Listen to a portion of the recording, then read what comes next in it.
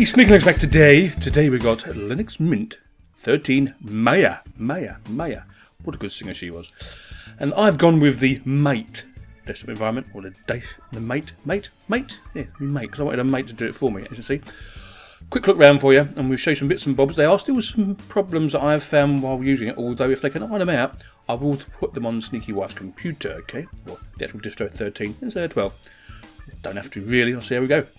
So I've had time and date, my Ethernet connection, my volume, and over here we have your system is up to date because I've installed it, of course. Okay, so up here, up here you get computer and Sneaky Zone, which is me, and so we're going to go to the menu. Lovely. So as you can see, nicely laid out, looks cool, can read everything nice and clearly. We get computer, home folder, network, desktop, rubbish bin. I love it when they spell it correctly. Software Manager, Package Manager, Control Center, Terminal, lock screen, log out and quit. I'll quickly show you the Control Center from here before we go any further. As you can see, nice, clear, laid out, does what it says on the tin, even though there are some repetitions here in the menu itself. But from here you can get your additional drivers, go to your file management, screensaver, etc, etc. If I go down to the bottom, do your network connections down there as well, users and groups to add users to your places and where you want to go and all the other programs you might want to use here. So that's, that's nice out of the way. Okay, back to the menu again, and I'm going to change this back to the favourites because this is how you would see it normally when you first boot up. So under favourites, we get the fox, we get the bird, we get the other bird, and we get a banshee as well. Now, Banshee I wouldn't actually put in personally, but you can put your own music player in if you so wish to do so. So that's alright. Linux Mint 13 I think is for new new users because it's really really familiar I think so it'd be easy for anybody to use it but say somebody, say for instance, wanted desktop shortcuts, say for their Firefox, so they're going to browse the web with it, all you do, hold down your left mouse button, drag it over, and there we go, got a shortcut just up there. You can position it anywhere you want to, really. So there, do it. There you go. You can get to the web browser from here. So I will open up the Fox while we're here, just to show you what it's all about. Okay, F521, there we are. As you can see, released last Wednesday. I've just had too much to do to do it any quicker. I've been doing other stuff, so lovely jubbly. But yeah, you can get it from here, you can get it from uh, DistroWatch if you so wish to do so, but hey, get it any way you want to. So far, so good. It has worked okay for me, although I will show you some of the problems I found earlier, or in the last distro as well, to be honest with you. Anyway, as I said, that's what you get for your favourites. You get a calculator and you get Pluma as well, which is their own mate text editor. Very plain and simple, does what it says on the tin, which is what we want really, isn't it? Okay, what else we got in now? We've got our sound, terminal, change your resolution for your monitors and your system monitor. I'm going to open it up for you so you can see what we're doing. CPUs are basically doing anything. It's only using 182 megabytes of my RAM and none of my swap, which I like you very much. Thank you very much. Okay, out of way. Next, if we go to the menu again, we're going to change to all applications, okay? Now, under all applications, you can get all or accessories. So under accessories, you get Archive Manager, as you would do. Pluma is in there, Tomboy notes is in there, so if you want to do some notes, they're in there for you. Under graphics, you get Eye of Mate, which is just an image viewer. You can get another one if you want to, it's up to you. Gimpy comes as standard, so does gThumb for doing your thumb sucking things. You also get the free LibreOffice suite, it's all there under Office, although Draw is in graphics.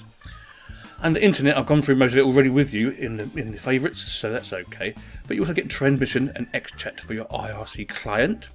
Under Office is all LibreOffice, so super duper, Mini Cooper.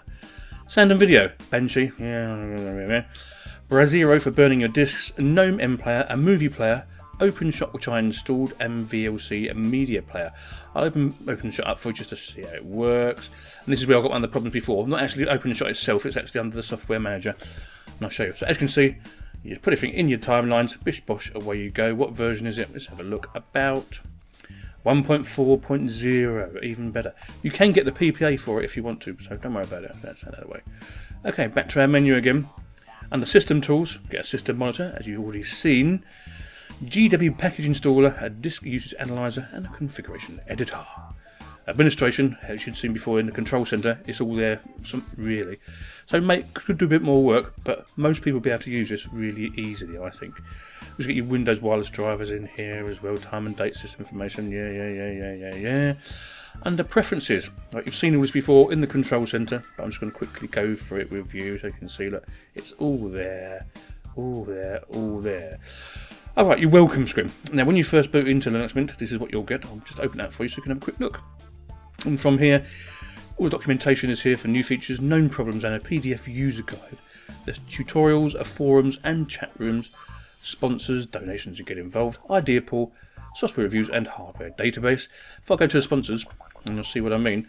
If you want to sponsor Linux Mint so they can keep on doing it without them to get real jobs, if you know what I mean, well, that could be a real job, couldn't it? It worked very well for you.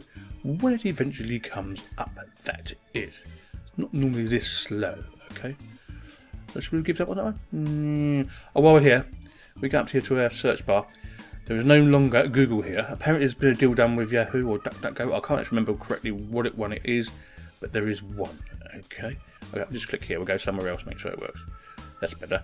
There we go. There's the page again. You can also get to everything from here if you want to do so. so that's all right. Yeah, well, I like it anyway. Okay. So that's the Mint welcome page.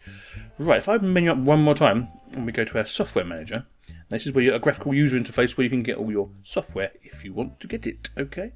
So wait a bit, wait a bit, we wait a bit. There we go. Now, this is the problem I had. If I go to sound and video, we had this in 12 as well, and 11, this problem. When I installed OpenShot, I'll just double click it for you and see what I mean. That's how you install stuff, by the way. So end the video, OpenShot, let's make it nice and big, see what I mean. But it says installed. When it's installing, it doesn't say it's installed, okay? Which is the main gripe I have. You don't know if it's installed or not. Although this bar down here does stop moving and nothing happens in the system monitor. That's my only main big gripe about it, okay? One of my only main big gripes. If you're happy, happy with Linux Mint 12, stay with it. Or if you want a few more new features, go with 13. Nice, I like it. 88 out of 100. Sneaky Linux going out. I said it, bye bye.